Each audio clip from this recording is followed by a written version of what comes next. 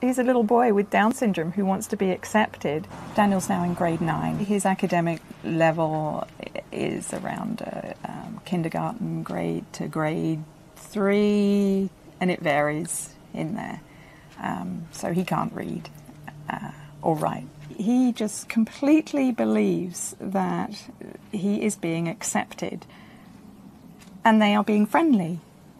He believes that, and that breaks my heart because he is just left in this situation every day on this ferry. And these things happened to him. They encouraged him to come and sit with them. There was a booth and it was full of students.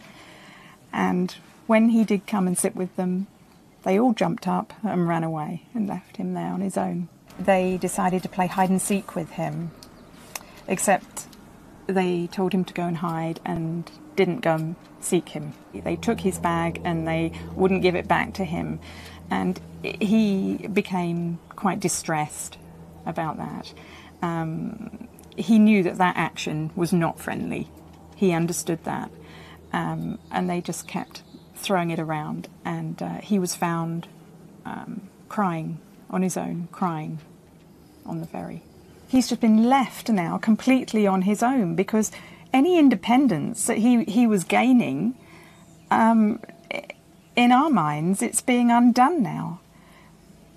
Because he does, he's not ready. I would hate to think what would happen if there was a real safety issue on that ferry, because the school keep telling us that the older students look out for him. I feel very sad for Daniel. Um, obviously, all I want to do is to make things good for him. Um, I think that that is terrible behaviour. And I, I'm not sure how he is expected to, to learn um, social behaviour if he's allowed to be in these situations unattended.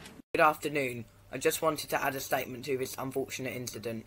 This is sickening how somebody could bully somebody with Down syndrome just because they are slightly different to everybody else.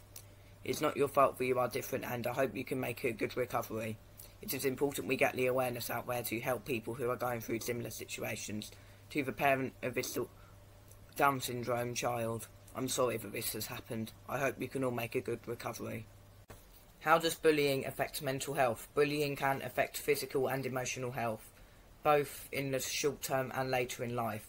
It can lead to physical injury, social problems, emotional problems, and even death. Those who are bullied are at increased risk for mental health problems, headaches, and problems adjusting to school. What are the long-term effects of bullying? Kids don't easily outgrow the pain of bullying. According to a new study that finds that people bullied as kids are less mentally healthy as adults. The study is one of the first to establish long-term effects on childhood bullying, which is still often considered a typical part of growing up, unfortunately. Children with physical, physical conditions or disabilities such as cerebral palsy and Down syndrome can be more likely to be excluded from social activities and called names. Mental health and bullying. Bullying can affect a child or teen's mental health and well-being. What is the best way to help a child with Down syndrome? How does Down syndrome affect families? Effects on families, siblings, and family members of children with Down syndrome can often feel left out with all the challenges in caring for someone with special needs, this affects the entire family unit.